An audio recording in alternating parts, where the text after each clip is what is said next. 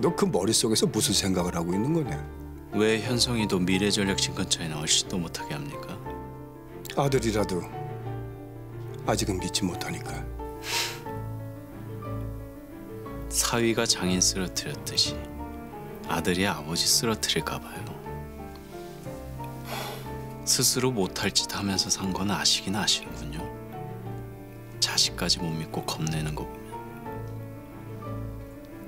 인생 왜 그렇게 사십니까? 난 너처럼 태어날 때부터 재벌의 아들이 아니었으니까. 미래 전략실.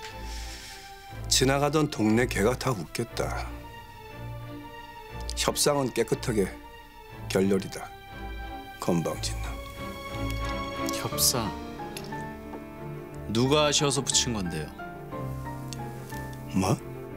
마지막 부탁이라고 했던 말 기억나십니까?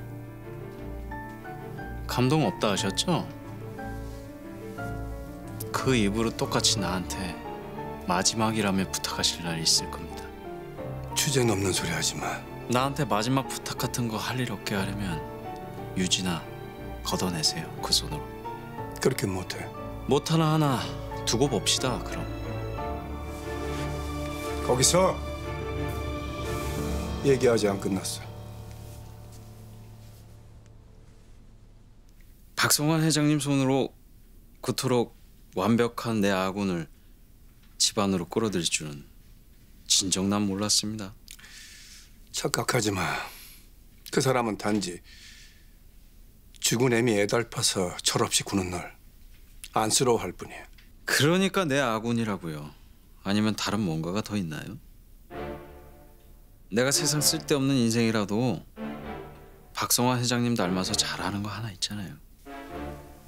정말 너 말 다 했냐? 운동이요 운동. 무슨 상상을 하신 거야 대체? 아무리 불안해도 말이야.